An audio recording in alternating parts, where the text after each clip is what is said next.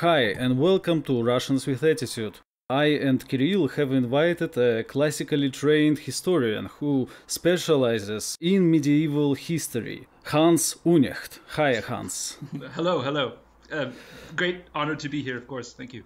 In our podcast on Galkovsky, a Phantom Rome hypothesis, I jokingly asked for a medieval scholar to show up, and here you are. So, how did you like this uh, episode and Dmitry Galkovsky's theory? I thought it was uh, it was really fantastic. I I uh, I know, of course, uh, Heribert Illig's phantom time hypothesis, uh, and also Fomenko a little bit, and I found both of those sort of you know conspiratorial attempts to alter the chronology of of the classical and medieval periods. I found them uh, less convincing, but Galkovsky, I thought he has sort of a coherent historical philosophy, right? Uh, sort of an evidentiary standard he sets that print is necessary, that allows him sort of to effectively, if not delete, at least to mute a lot of centuries at once, and it's it's defensible, right? It's a defensible idea. What is the general approach to this uh, kind of uh, conspiracies in academia? Uh, they're totally ignored, right? Um, the I, I, know a little bit about Heribert Illig uh, because of some of my work. I, I, came into contact with him and his disciples as a graduate student, and later they liked my dissertation, and I. And there is there's a little bit of polemicizing by professional historians against people like Illig, uh, but their ideas nobody reads him. Of course, they're just completely ignored. Okay, so what are the main ideas and uh, concepts that can prove uh, this skepticism with regards to the medieval period? Well, why is the medieval period strange? Yes, yes. Oh, it's well, it's it's a combination of things, right? Uh, I think on your Galkovsky episode, you said that uh, the medieval period has an odd fairy tale feel about it, right? That it's the, setting and the locus for for uh, uh fantasies and myths. Uh, that's obviously there's something that seems a little bit unreal about the medieval period. Unlike the classical period, there are or, or the, the modern period, there are enormous problems with evidence, right? I think you also mentioned there aren't the material culture from the medieval period, especially the early medieval centuries. So after the fifth to the seventh, eighth century, well, even later, there's very little material culture survives at all. If you look at the archaeological work, they, they find a few stones in a ditch or some wood or something. It's very materially poor. And the obviously the way manuscripts transmission functions it's very alien if you're used to print right? The texts don't have a fixed form. They're not known universally. Things are interpolated and forged all the time. Uh, so the from many different perspectives the medieval period is is kind of unique uh, in, in i guess at least western history right? Yeah, um, I think uh, what's so interesting about Galkovsky and his approach, uh, as opposed to people like, I don't know, Velikovsky or um, Illig, or Fomenko is that he tries to avoid conjecture whenever possible, right? So it's more of a, it's not a, I think it's less of a historical approach, it's more of a theory of science approach. It's a theory of the science of history, right? Uh, so what can we know? It's a question of historiography and how we have to talk about. And uh, of course, uh, skepticism toward sources is also, uh, I think you're probably familiar with that because of your work that sources are not uh, to be well it's possible that sources can be falsified. Even if they're authentic from the time period they don't necessarily have to be trusted. Many people know about this just if we talk about i don't know maybe military chronicles right? When you have descriptions of battles with like uh, a uh, hundred thousand uh, on both sides which is absurd because the economies couldn't have sustained that. Uh, it's just mechanically impossible. And we know that this means that the sources are lying. But uh, in academia, I mean, I'm a trained historian myself. I'm not much uh, engaged in academic circles nowadays. But um, what always strikes me is that people are, they choose and pick which parts of the sources to trust and which not to trust. And it's always um, seems like it's a matter of comfort like if uh, the source uh, supports your theory, you think it's authentic, and if it, if it doesn't, uh, it's not. What I found especially interesting about the early medieval period is that for the last decades, I don't know, maybe half century even, um, more or less the mainstream in, in, academia has become that the fall of Rome wasn't as bad as um, people thought, right? That yes, uh, yes. that it's not. It wasn't the Dark Ages. There was no collapse. People living through the fall of the Roman Empire didn't even notice that it fell, and so on. But then I read a book that uh, I don't remember when it came out, "The Fall of Rome and the End of Civilization" by Ward Perkins. I don't know. Yeah, if well, it's, it. an excellent book, absolutely. Yeah. Mhm. And it's really hammers down the point that there was a collapse and it was an apocalyptical collapse. Um, you had like uh, I don't know a thousand things like the pottery was worse, uh, the cows were half as big, and so on. Uh, deurbanization on an unprecedented scale, and what this means is that uh, what historians of the early medieval period have been writing for decades is just wrong. It is just Yes. completely wrong. Uh, No question, absolutely. Uh, it's it's it's very odd what happened. I think it was a sort of a post World War II movement to reinterpret the the end of the Western Roman Empire along uh, the lines of sort of nonviolent cultural transfers, ethnogenesis. I, I don't know what you know. They invented a lot of a lot of sort of uh, uh, ways of explaining away the collapse of the Western Roman Empire that made it feel nonviolent and friendly. Uh, and and those primarily American historians. I even studied under some of the leading guys that that helped direct this narrative. They're all retired now. Many are dead. And it was always transparently false. It was not true, right? Uh, there is no way. Uh, contemporary sources all said that you know this is this is a catastrophe. The archaeological sources which we had for a long time, you know what Ward Perkins writes about, that was always known. Uh, the West becomes materially poorer after the fifth, sixth century. It becomes depopulated. The roads go away.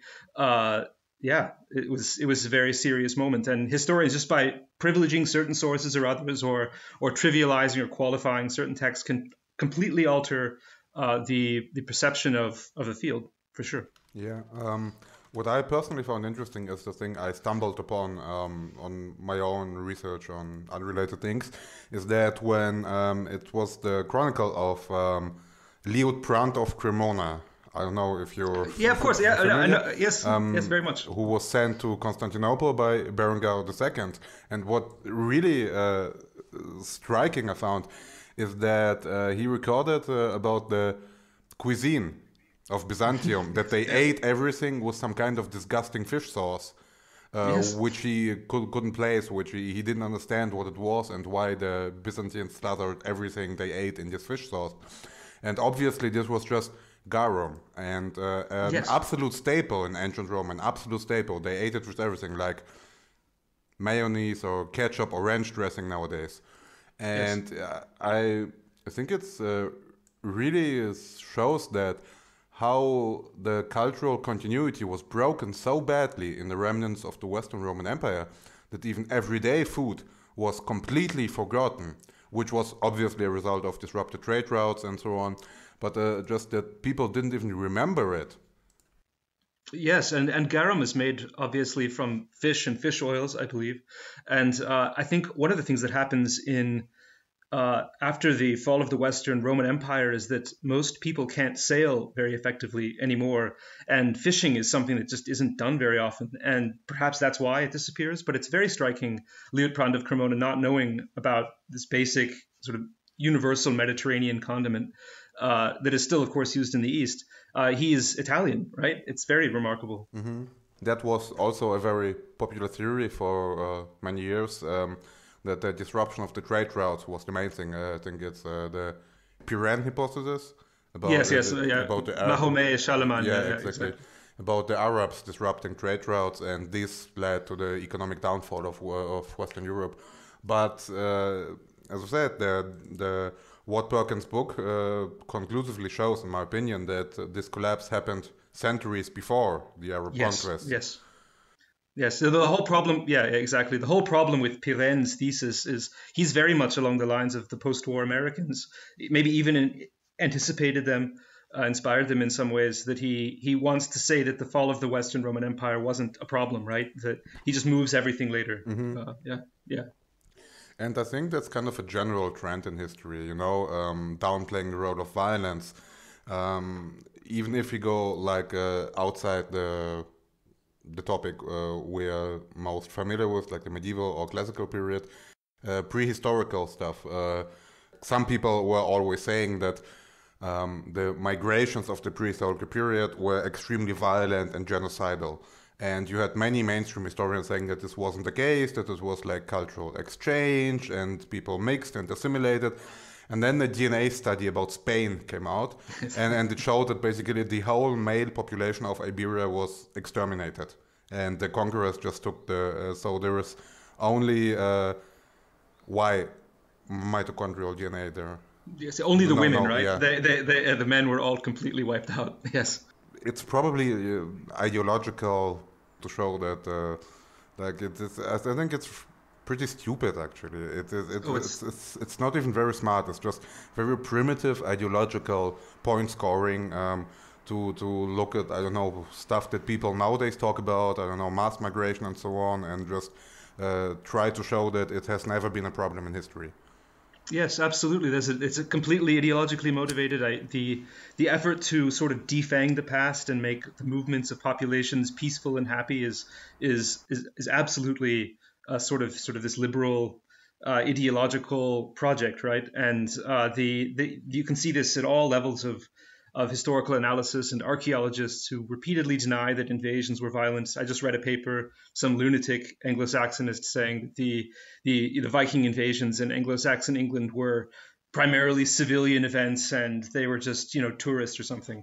Uh, this stuff is it's pervasive and completely retarded, right? This is yeah, I don't know what to say about it. It's just dumb. So, what is the point of uh, making history to appear less bloody and less savage? What's uh, the interest of the mainstream historians in doing this? Well, I think this. I, I can only speculate. You know, I avoid most of these people, but but on the one hand, they they are very effete people, and increasingly medieval and even increasingly ancient history is done by majority female professors and researchers. Uh, the men involved are very effete and unfit, and they have no experience. They've never served in the army. They have no experience of athleticism or or military uh, endeavors. They have no idea or interest in these things. They're very passive people personally, just interpersonally if you know them. And they also support leftist, you know, mass immigration political programs, and they don't want to sort of litter history with examples of. Uh, you know the mass movements of peoples being you know genocidal or destructive which they always are Oh, right I They- see, I see. So let's define terms a bit. Uh, what is a conspiracy? What difference does a conspiracy have uh, with uh, an alternative theory? Right. That's so. So a conspiracy. If if I understand Illig and Fomenko, some of the others correctly, uh, the the conspiracy suggests that some of the past has been invented via sort of the secret arrangements or the strategizing or pro- secret project of forgery arranged by specific people, right? So Illig believes, I think, that the Ottonians under Otto III forged a bunch of manuscripts and documents to sort of, you know, add some prior centuries uh, and that that was done between the Pope and the, the the Holy Roman Emperor as part of sort of a hidden project with hidden aims, right? So it was conspiratorial in that way.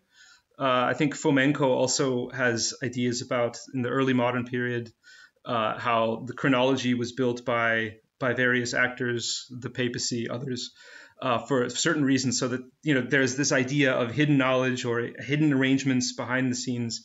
Uh, manipulating our view of things, right? So that would be a conspiracy. An alternative theory would obviously anything else. Uh, doesn't require any any uh, malicious, hidden, coordinated action, but it could. So I guess conspiracy falls under the broader umbrella, right, of alternative theories. There's others too. Were you familiar with Dmitry Galkovsky and his theories before our podcast, or did you just learn through this episode? I, I'd heard I, I have a few Russian friends, but uh, who had mentioned him to me, but I, I had never, of course, been able to read him. I can't read Russian, and I didn't know he he had, he had proposed these sort of alternative historical theories. I, he was just a name I sort of knew. Uh, so yes, this was very fascinating to, to learn about. Yeah. What is actually the role of conjecture and speculation when writing history? Oh, it's well, it's I think first of all conspiratorial thinking, imagining who has what motives uh, and why, uh, what could possibly be intentional. Uh, what is an accident? What kinds of strategies might be at work to explain events? Thinking in these in these in these ways flexibly and conspiratorially about actors and and how the things you're reading might be forged or might have been arranged or or the events you are reading about in chronicles might have been staged uh, is is always necessary and, and interesting and, and it's also fun right and and I think that that kind of mental flexibility is is is central to to being a historian and and you know most historians are extremely conventional and aren't interested in that kind of work but I find sort of the role of supposition and conspiratorial thinking useful in all contexts, right? In political, contemporary uh, contexts, and also in the past, as as a way of of both inquiring into what other narratives the sources will support, not just the standard one that you've received, and and also learning to think flexibly about uh, the evidence and the historical actors you, you study, right? Uh, so even if you don't find all conspiracy theories necessarily convincing, it's very interesting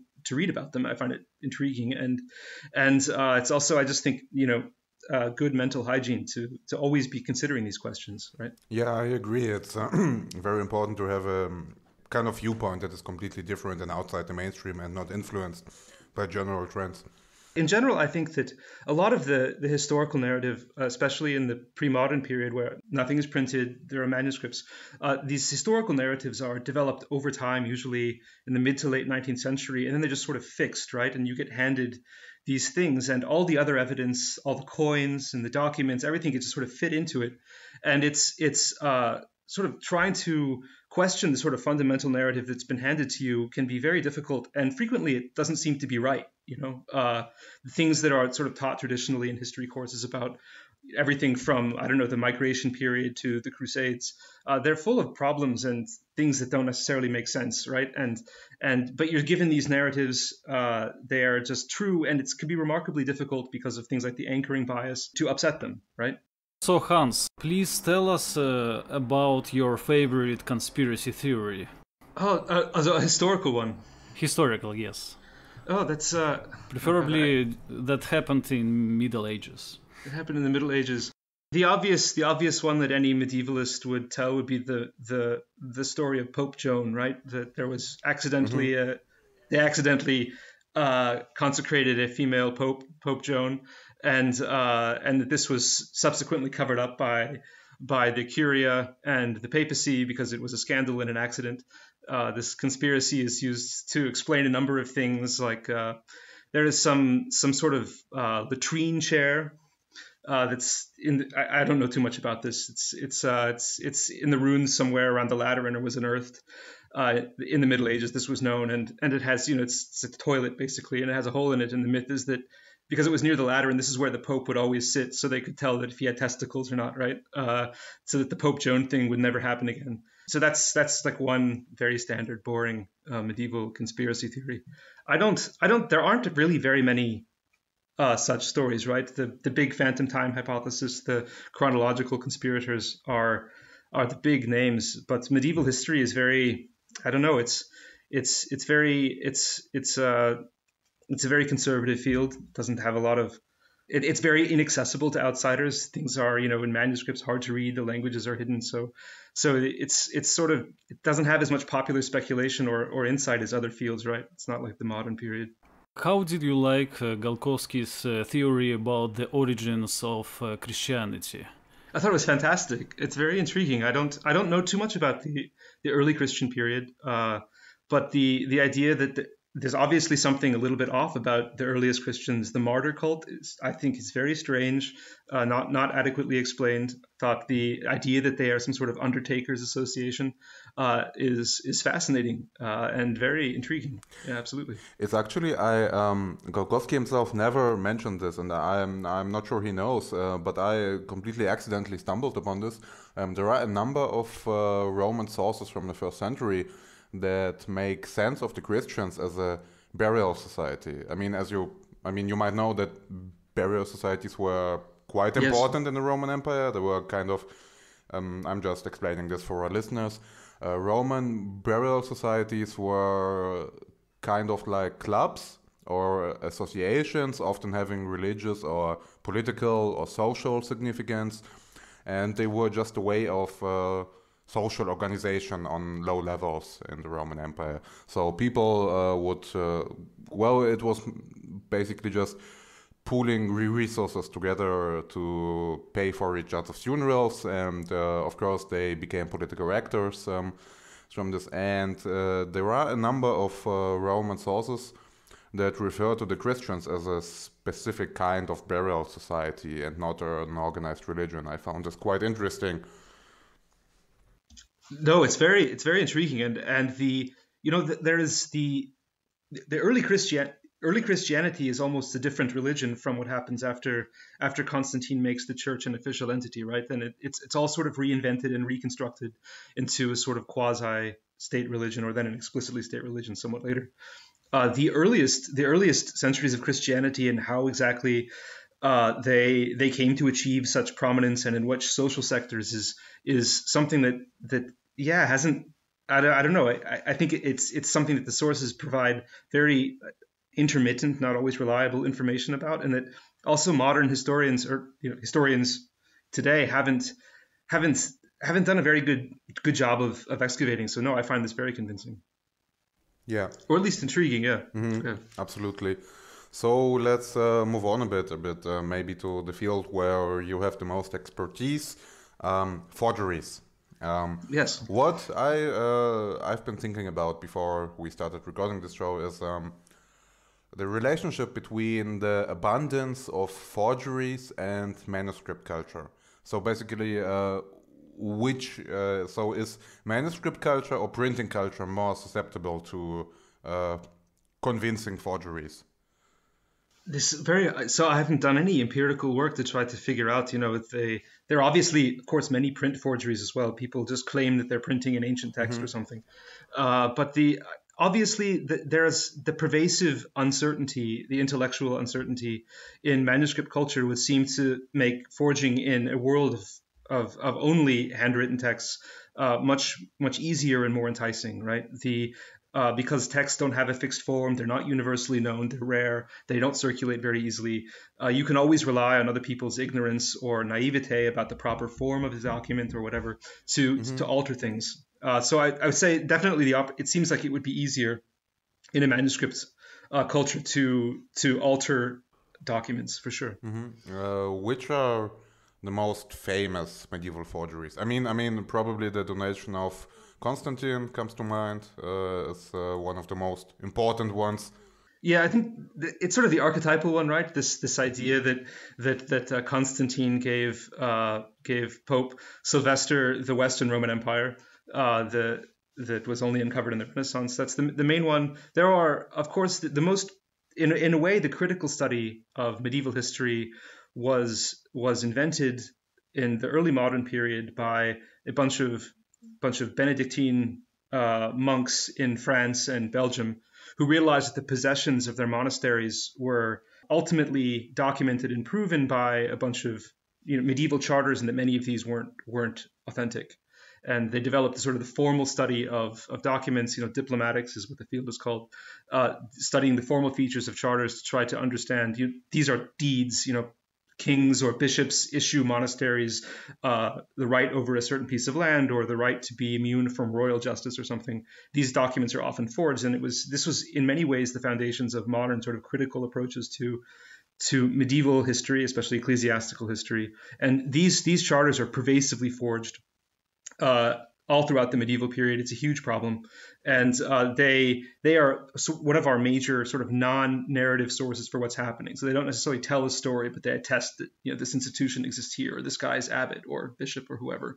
And these are routinely forged, and it's a huge it's a huge subfield of of medieval history. So you can go through like a whole list of famous charter forgeries. There are obviously uh, literary forgeries as well are very pervasive. People pretending to be a church father, people pretending to be uh, all manner of personalities, right? Any any any famous person uh, or prominent person will have things forged in his name.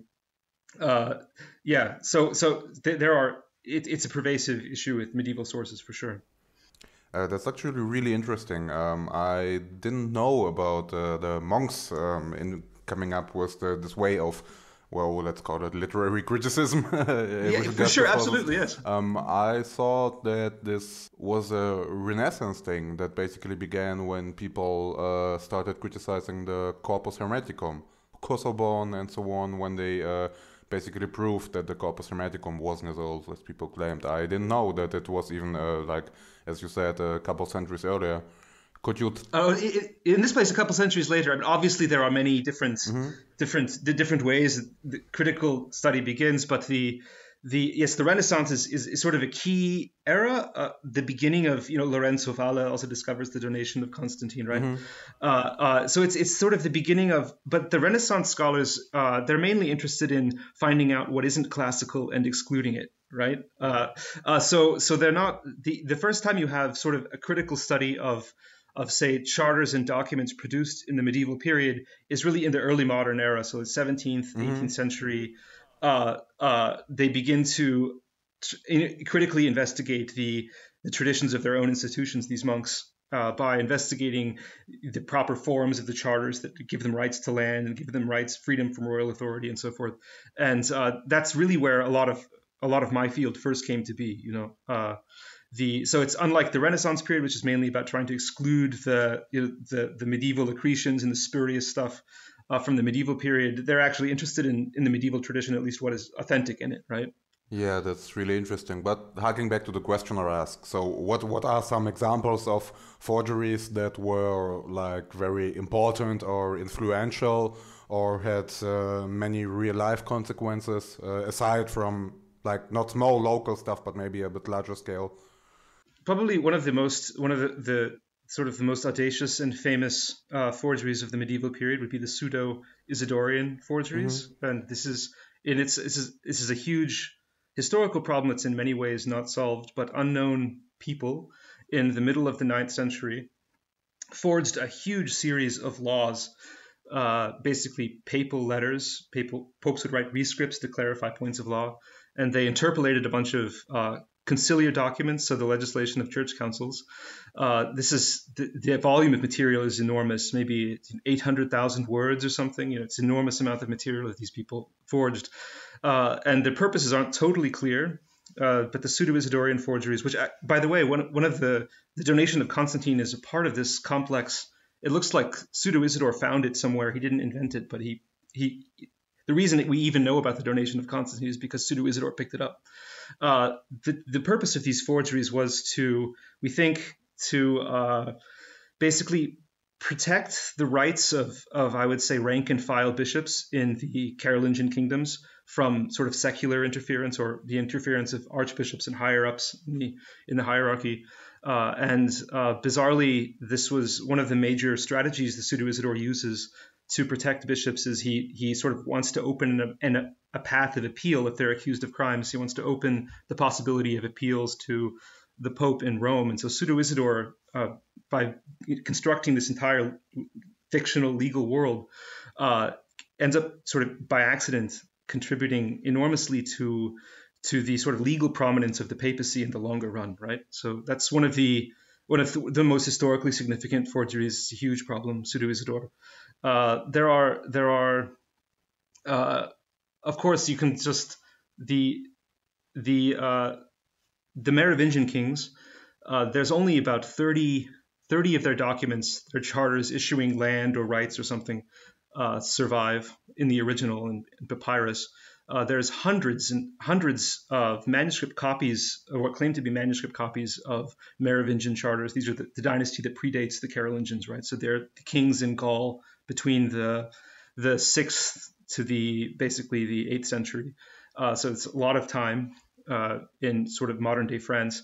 All of their documents that don't survive in the original are forged. They were forged by you know monasteries or different institutions autonomously as a means of trying to locate their rights in, in ancient kings. Uh, that's very it's very intriguing that uh, that if it doesn't survive in the original for the Merovingians, uh, it's not real. Uh, the um, a good part of the Merovingian charters uh, that 30 something that survived in the original they only survived because they were the in the in the early middle ages uh, these kings the merovingian kings still issued uh, documents uh, the deeds and and rights and so forth. They still issued these charters on papyrus. They're sort of a holdover from the Roman period.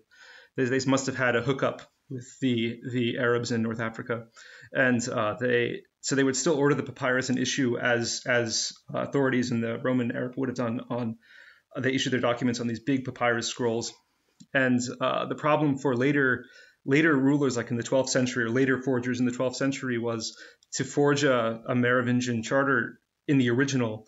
There wasn't any papyrus anymore, right? And they had to. Uh, so a lot of the Merovingian charters that survive only survive because they were turned over and forgeries were copied onto the back, uh, so that they would look old. And they were then glued like like the the actual original charter uh, that they were repurposing was then glued down to a board so that so that no one could see it. And this was discovered in the early modern period, like librarians in in the archive uh, in Paris were like trying to like like unpeel them from the boards to discover the original documents under these very obvious forgeries, right? But these were these were accepted as authentic documents for centuries and centuries. They were almost all done. I think every everyone forged in this way was done by the the Royal Monastery of Saint Denis uh, outside Paris. That's that's a very famous sort of forgery mm-hmm. operation. Yeah. Well, it seems like forgeries were pretty routine in the medieval period. Actually, like for basically anything you could think up, they they just uh, it's a very convenient way. So, um, did people just accept this? The, uh, so, what was the? I mean, was it widely known in the medieval period that people forged these things, or was it just that people didn't even conceive of it? It, so so it was it, it's a very interesting question. It's it's very hard to there are sporadic complaints about forged documents or forged texts or interpolated texts. They do exist.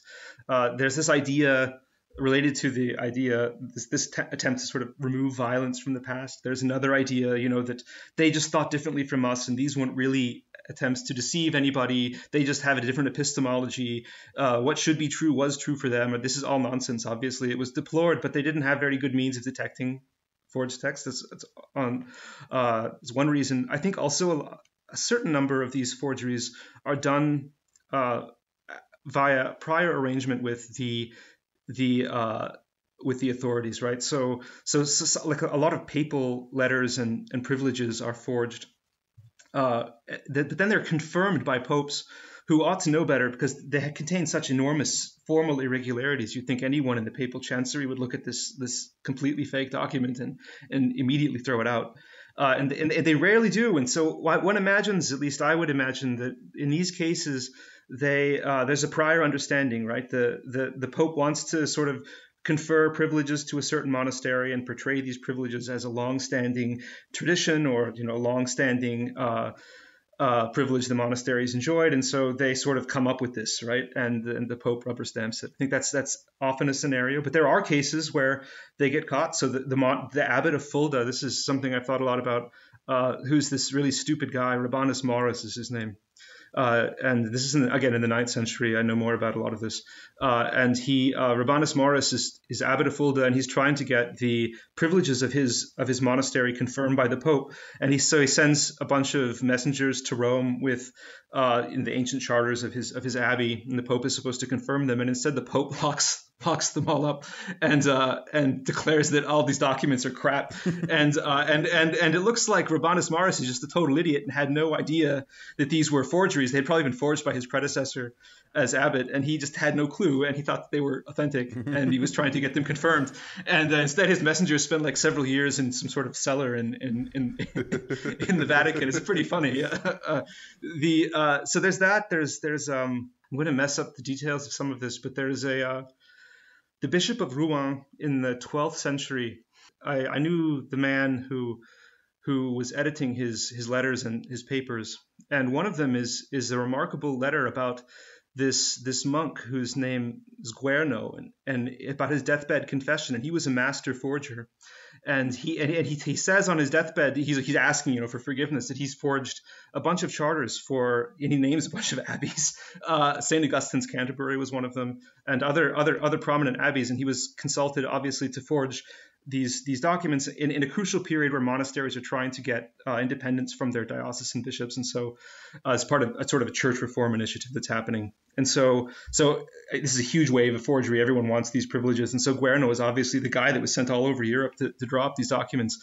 And and and the Bishop of Rouen, and this is mentioned in this letter. He's writing to his colleagues, and they're all discussing, you know, what do we do about this, or did he forge anything for us?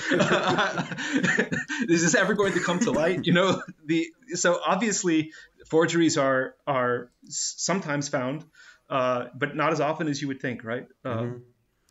So, w- were there any mechanisms to protect against forgery or to verify documents? Because um, I know that in at least in the Eastern Roman Empire, at least for imperial decrees, they had a rather simple system. They had a special ink that was used only for imperial decrees, and possessing this ink or trying to make something that looked like that was punishable by death. And yes, so uh, was there something like this in the West? Yes, there. Well, there obviously it's the West is much more decentralized, right? So you have different chanceries, the the, the the people who issue the documents. So so you know the French king or the Carolingians will have their own chanceries issuing these things.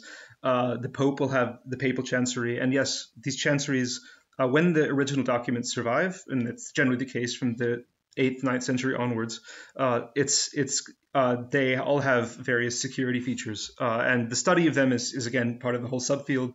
But they they, they cultivate special scripts uh, that aren't easy to for ordinary people to write, so they're difficult to read, and uh, they're obviously chancery personnel are trained in these scripts, so not everyone can write them very easily. You know, I, mentioned Saint Denis uh, forging a bunch of Merovingian charters on papyrus. The Merovingian chancery on their original documents sort of has a late Roman cursive script that they've developed that is almost completely illegible. It, it looks insane, and it's obviously done uh, to uh, to make these documents very difficult to forge. And you see the 12th century monks at Saint Denis trying to forge uh, these sort of simulacra of Merovingian charters have a huge problem trying to imitate the scripts. Right, so the scripts themselves are are one method. Uh, the early medieval charters of uh, the of papal charters have all kinds of features. Uh, there are specific chancery personnel who leave initials or certain signs. We don't understand all of them at certain corners of the document, or the parchment is folded up a certain way and there's signs behind it. Uh, the, these are obviously indications of certain personnel who were there who can attest to its authenticity. Uh, we don't understand again, don't understand all of them. Uh, there are of course special seals that are used, so wax seals that are impressed with a matrix, which in the Middle Ages I gather is not very easy to to develop, right? Uh, an, an, iron matrix or whatever they're made out of, lead or something. Uh, it's, it's not so easy. Uh, there are the the the Merovingian and Carolingian charters. Their chanceries uh, include authenticating statements in uh, this this sort of I, almost I would say a cipher. The it's called the, the, Tironian note shorthand system. It's known from late antiquity. It's an extremely difficult uh, and opaque sort of encoding method that nobody nobody outside of a few trained personnel can read. And we actually couldn't read it ourselves until the 19th century. And they they they use this to like give the date the document was issued on. There'll be a little Tironian uh, a little sequence of Tironian notes like in the bottom corner uh, it's obviously another authenticating method. Uh, but what's bizarre is that there are plenty of forged Carolingian charters, for example, that don't have any of these features, or that or that they try to write Tironian notes but they fail. they don't make any sense or something, right? And and, and it just look completely crazy. And and uh, and no one no one no one cares, right? They they still get authenticated, and it's still it's still everyone's fine with this. Uh, so yeah, on the one hand, there are these methods to to avert forgery, but then we have very obvious forgeries that survive and and uh, don't really seem to have been used as you would expect. That's really interesting. Yeah, I uh, must admit I didn't know most of what you just said. um, no, it's really very interesting. Um, another point that uh, I started noticing after reading Galkovsky, I had never thought about this before, is that uh, criticism of sources uh, with regards to when these sources were discovered. Like if you have a source oh, yes. uh, that is supposed to be from the 10th century or something, and but it gets discovered only in the 19th century, then it's it's almost a Galkovsky says uh, almost a hundred percent chance that it's a forgery. Um, I extremely heavily noticed this when uh, looking at Russian medieval history. Um, I don't know if you're familiar with the Tale of yes. Igor's campaign. yes, yes, absolutely. And, yes. uh, which uh, supposedly um, 12th or 13th century source, which was discovered in 1795, so uh, like 600 years later. and um, it's it, is just um, well, most scholars believe it to be authentic, but it just seems so ridiculous to me, um, especially because um, the point is that you know the guy who discovered the birch bark manuscripts in Novgorod, um, Arkhitsovsky, I think was his name.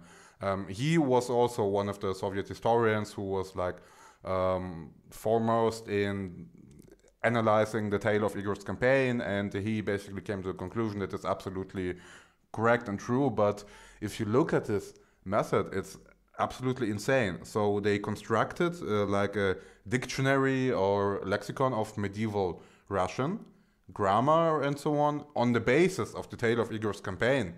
And then they analyzed the book according to the rules they derived from this work to, to uh, come to the conclusion that it's authentic. It is just circular reasoning. It makes no sense at all. And there's a bunch of these uh, sources, um, not just in Russia, um, that were discovered like in the early Romantic period. And uh, it's also, I think, very obvious to me, um, if you think about it in an unbiased way, that these things uh, are also just ideological forgeries to support the romantic nationalist narratives of the time. Oh, it's very interesting. Uh, the I would also say there's an additional wrinkle. So it's true, uh, especially historical narrative sources have a way of not really being uh, used or or known until you know the 19th century or so, right? This is also true for not all, but for many for many Western uh, Western narrative sources as well. So central texts aren't aren't really cultivated or known. Um, huge monuments of literary monuments, like you know the manuscript that contains Beowulf, I believe, wasn't known until the 19th century. It's it's very strange, and uh, part of it I think is the, the, the I guess the innocent explanation would be that uh, the only portion of the tradition that is continuously cultivated from the medieval period until the early modern era, so that gets you across the printing gap, is is uh, the devotional texts, right? The biblical texts and the commentaries and the liturgical stuff. And and so that's the only thing that everyone's paying attention to. And then and then the historians then have to find the forgotten narrative sources. Uh, but that even if you even if that's that's convincing to you uh, in, for the more Western uh, side of history, even if that convinces you, it should still should give you grave misgivings about the accuracy of these sources uh, especially given given given that you know there's we don't have for many of them the contemporary context or how they were received or whether anyone thought they were correct or anything like that. Uh, an additional angle for for that is definitely true also for for the early uh, the old Slavonic texts, but that is also enormous even for the classical tradition is that the manuscript traditions themselves of, of, old texts are often very young, right? Uh, so most classical literature, like classical Latin literature, doesn't doesn't survive in manuscripts older than the ninth century. There's a big script reform then, and uh, so you know the major authors, Tacitus, Caesar, all of them, um, almost all of them, don't survive in earlier manuscripts at all. Uh, the the for Greek it's even worse, right? A lot of those are like I think the earliest manuscript of the Iliad is in 11th century, 10th century. Uh, it's it's very it's it's, there's a huge there's a huge historical gulf here, right? Yeah, that, that, uh, yeah, and and, and, and I think the manuscripts of the classical authors are a very interesting topic in themselves, um, like how they uh, actually ended up in the West. There, is, there are a couple of competing theories. Like there is like the most mainstream one, that uh, most popular one is that the Arabs saved them um, and introduced them to, through Spain into Europe. And uh, a minority position is that basically the Eastern Romans uh, ne- never lost those texts and they always had them and they just got introduced uh, like partly after the fall of uh, Constantinople, partly before that by scholars. And uh, it's all quite interesting. Um, is there anything, in your opinion, I don't know, suspicious or strange or controversial about the uh, classical ancient or uh, uh, about literature from classical antiquity and how it made its way to the modern West? It's a very hard question. The the there is the big question I have about the just staying with the Latin tradition for a little bit that all of that gets process through the Carolingians. Basically, they implement a big script reform, and uh, so almost all classical literature is just stuff that they were interested in. So nothing else survives. And so, so what what they've done is they've obviously in the Carolingian era, a certain portion of the tradition is selected for survival by by monks and clerics at the time, and everything else just disappears. Right. So that that process itself is very suspicious. Uh, anyone that doesn't make it through that filter, uh, church fathers, uh, classical texts, is just gone, right? And there are, you know, it's that, that no one is really, no one really sort of thinks about what that means.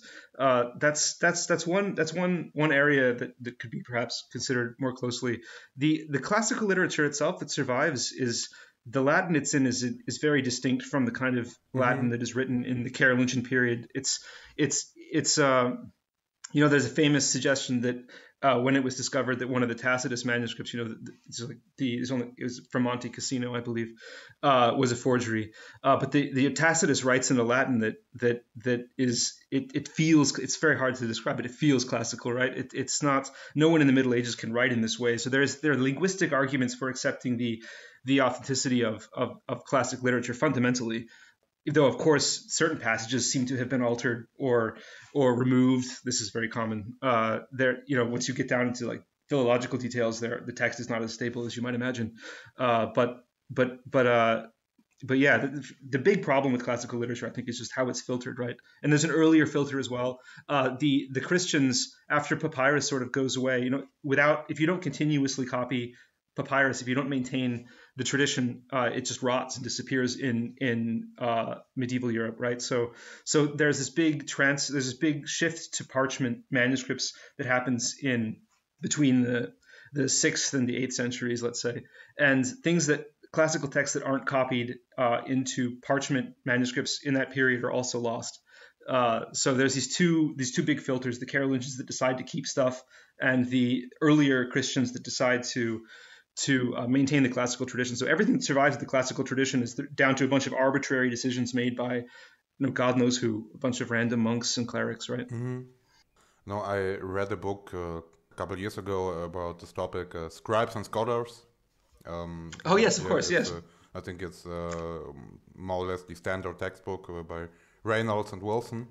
Um, I, what I found interesting is that um, they have this the, the, the role of Ireland uh, oh, yes. it, it, it, always seemed a bit like uh, I don't know how to explain it. Too perfect. I don't know, like, like that Ireland was like this gigantic, rich uh, island where everything is perfect and everyone speaks perfect Latin and Greek and they have all the manuscripts and they uh, make all the theology and uh, they are the smartest people in Europe and they travel throughout of Europe and teach people.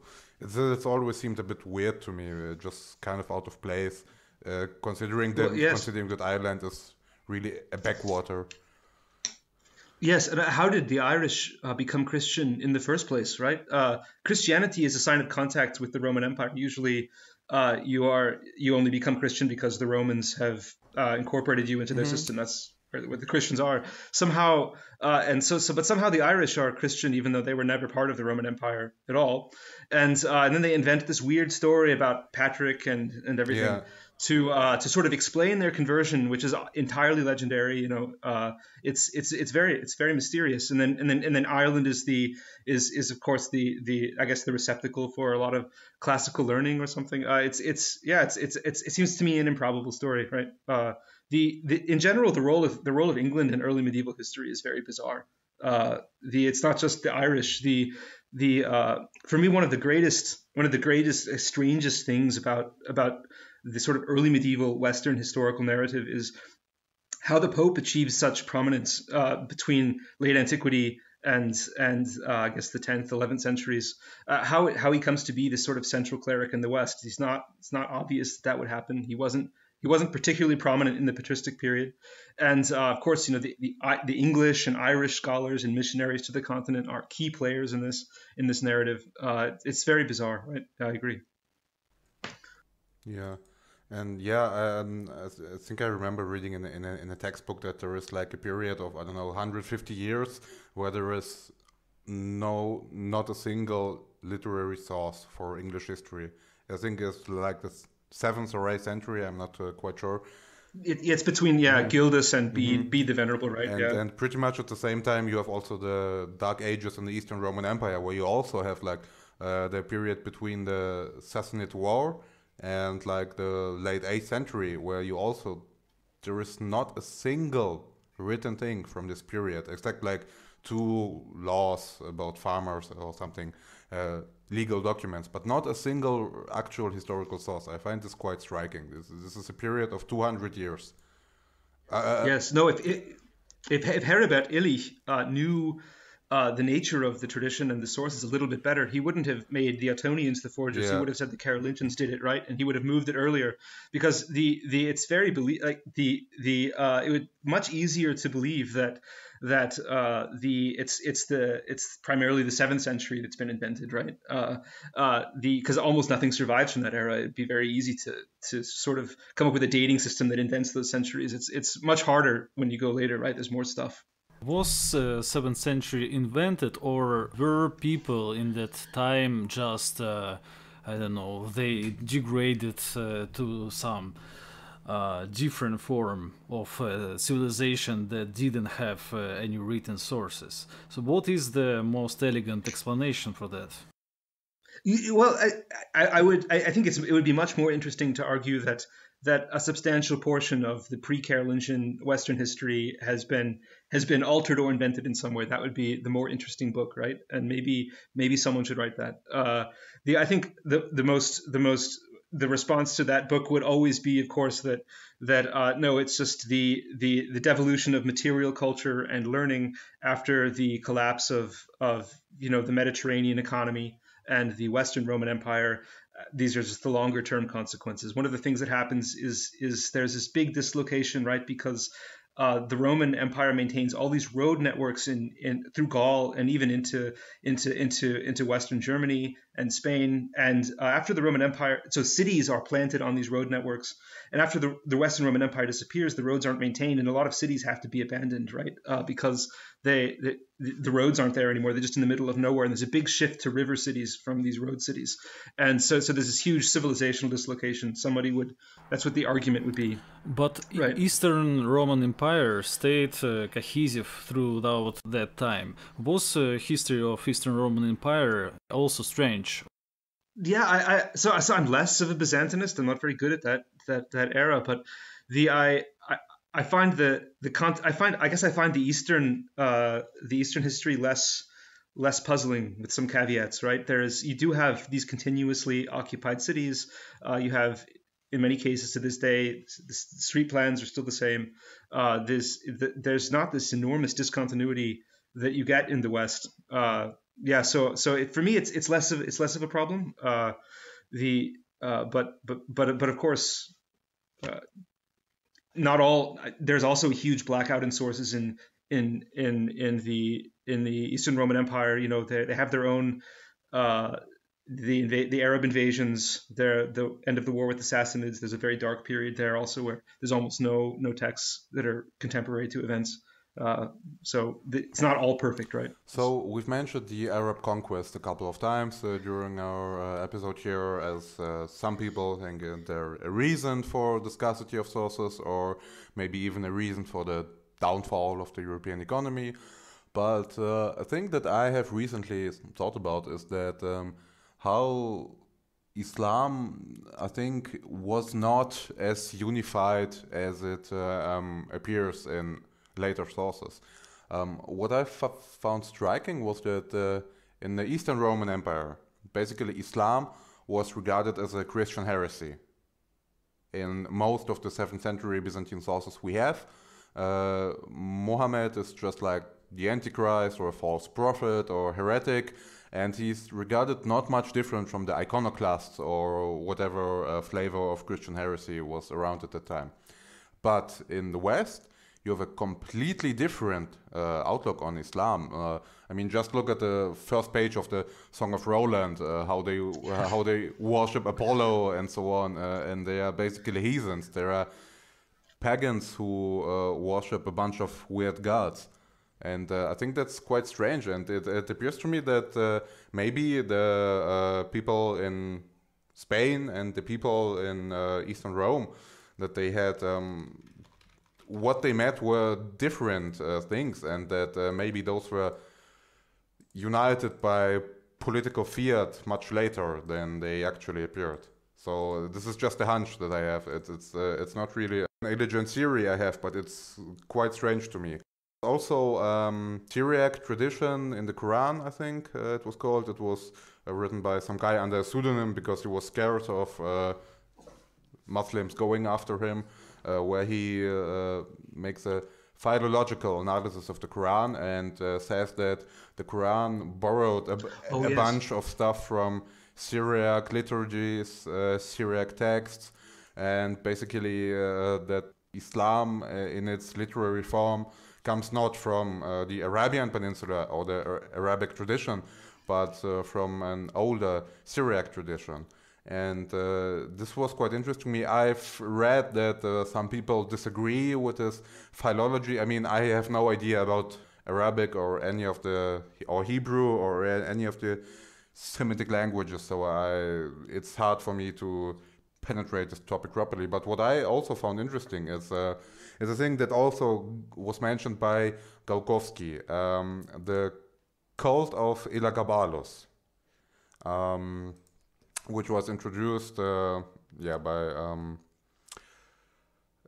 I think uh, that it might have been some kind of precursor to Islam, or maybe even the original form of what became later known as Islam. Because one specific detail that I stumbled upon was that in the original Syriac tradition, um, in the mythology, uh, Elagabal is, uh, well, kind of a god, and uh, his wives were Allat and Al-Uzza. And these were like very old uh, Eastern Mediterranean deities uh, that were worshipped by the Arabs and in Syria and so on.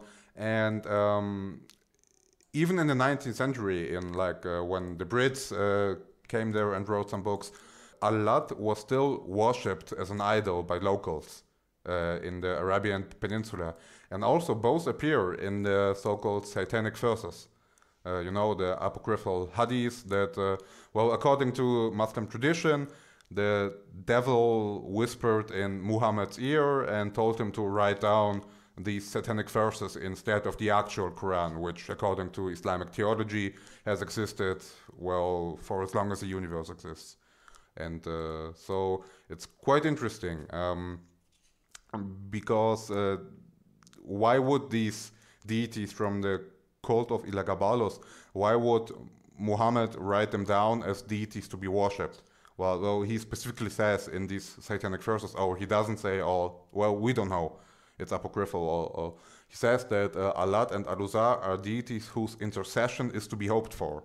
And I found this quite striking. And of course, there's the black obelisk that uh, Elagabal brought to Rome, which uh, is, well, also appeals very Islamic uh, to my, in my opinion. It's uh, quite strange, all to me.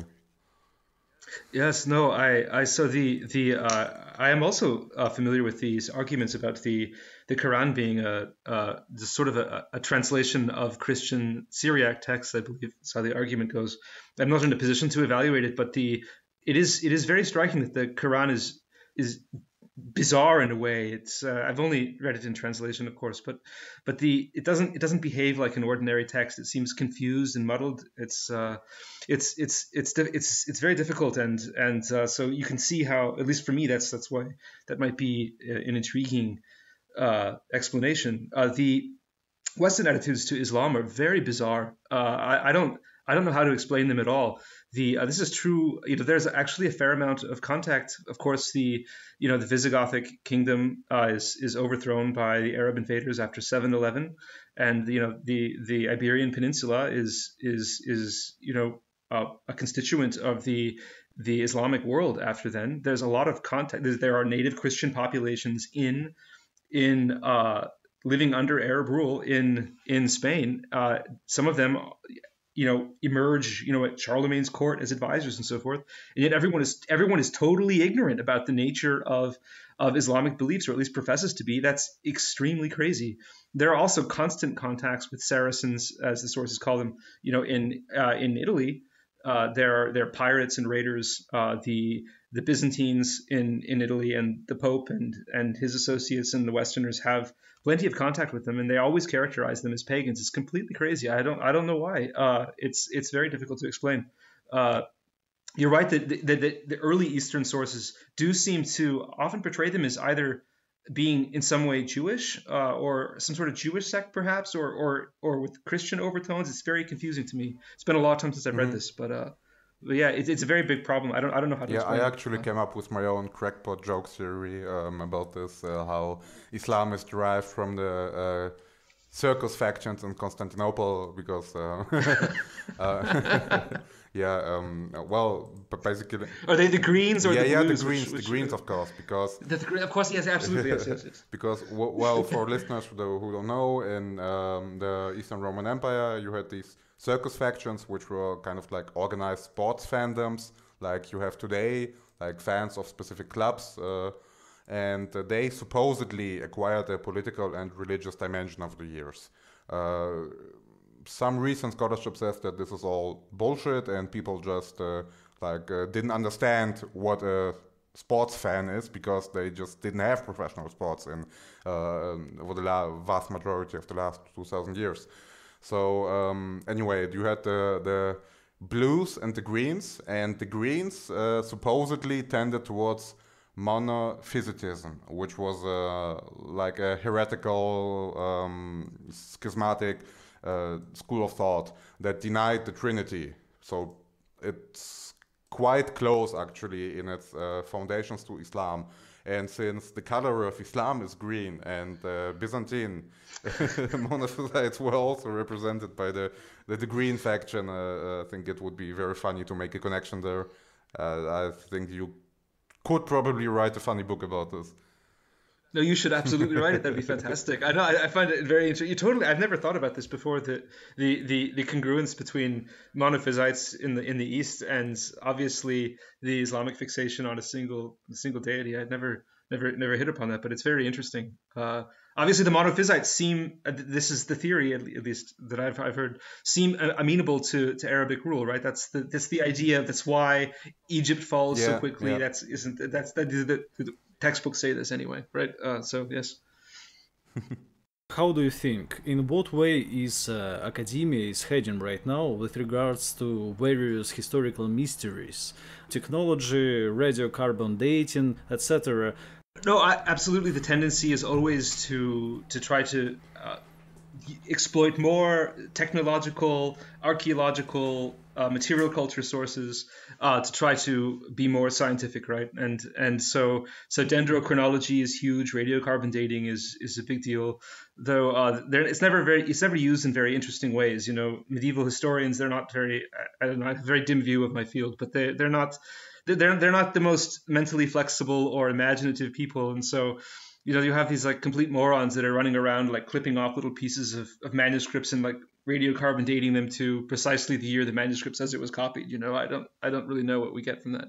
Uh, uh, but the the absolutely the the there is there is an interest in in in these these kinds of uh, technical methods. I have to say that personally I, I found them at least for for early medieval history, you know, early medieval archaeology since the 1980s has been a huge thing.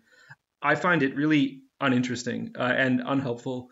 Uh, the the it really is true. I think you mentioned this in your Galkovsky episode. The West uh, is just materially very poor in in in the the early medieval period, especially. And there's there not there aren't remains the material remains of anything at all really. Uh, or what you find you can fit into literally any historical narrative you develop, right? And and so the the a lot of the this stuff of course, it always confirms the written sources. It always confirms the narrative that we have. Uh, but if we had a different narrative, it would be very easy to make it confirm that one too. Uh, it's just, uh, yeah, I'm very pessimistic about a lot of that. A lot of that stuff. I haven't seen amazing results there. But it's you know you can apply for grants now. It gives a way to get money. Uh, it's, it's, like a whole industry. You can fund grad students with this stuff, uh, even if it's not very uh, interesting. I recently read something that was quite interesting that might even be applied to your field, uh, especially. Um, they analyzed some of the Dead Sea Scrolls.